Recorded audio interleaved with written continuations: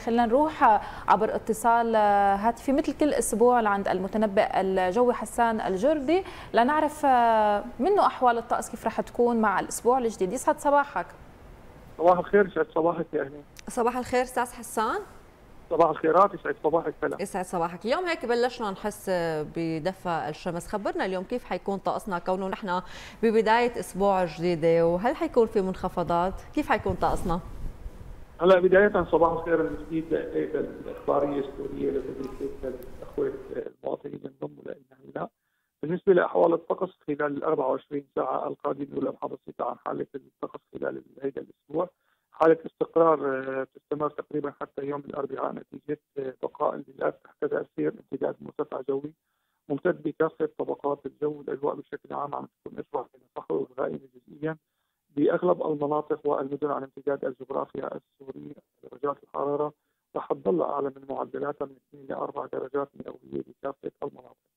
الشيء المميز إنه خلال ساعات الليل عم تكون الاجواء باردة ويحذر من تشكل الضباب والضباب الكثيف باغلب المناطق الداخلية خلال ساعات الليل والصباح الباكر ومن حدوث الصقيع بالمرتفعات الجبلية المريه عم تكون شرقية إلى جنوبية شرقية خفيفة الصراع والبحر خفيف ارتفاع الموج.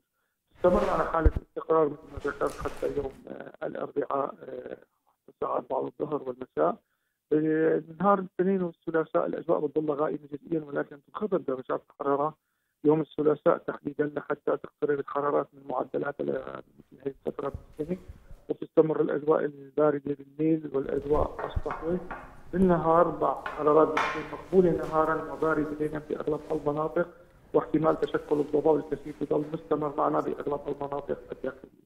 حاله عدم الاستقرار ضعيفه بتبلش قبل نهاية الأسبوع يوم الأربعاء مساء من المناطق الساحلية والشمالية والغربية. الاجواء تتحول من أجواء غائمة جزئيا إلى أجواء غائمة بدءا من الساحل والشمال الغربي تصبح الفرصة مهيئة باذن الله يهبط لخاف من المطر بدءا من المناطق اللي ذكرناها المناطق الساحلية والشمالية الغربية درجات الحرارة بتضل حول معدلاتها أو أدنى بقليل لمثل هذه الفترة من السنة.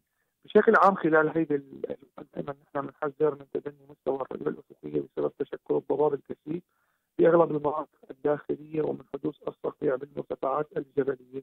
أما درجات الحرارة المتوقعة بدءا من العاصمة دمشق لليوم 16 5 القنيطرة 14 4 القلمون المرتفعات الجبلية 11 1 درعا 17 7 القلم السويداء 16 6 المنطقة الوسطى حمص 16 6 حماة 13 6 منطقة الجزيرة محافظة الحسكة 17 4 الساحل السوري اللاذقية وطرطوس 20 11 بالشمال حلب 14 5 إدلب 11 4 دير الزور المنطقة الشرقية 13 7 الرقة 15 4 وأخيرا البادية السورية 12 5 مدينة تدمر.